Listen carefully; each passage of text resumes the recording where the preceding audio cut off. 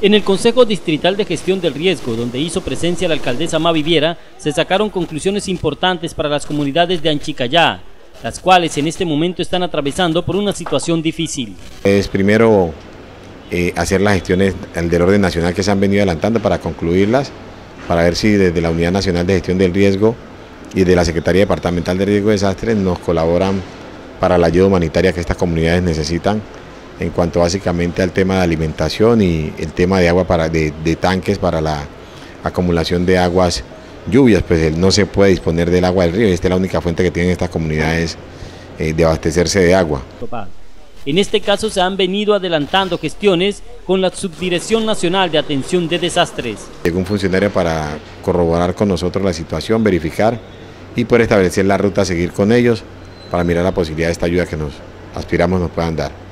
Teniendo en cuenta los niveles de riesgos generados por la represa del Alto Anchicayá en esta comunidad, es necesario contemplar el sistema de alerta temprana, pues las fuertes lluvias pueden provocar desbordamientos.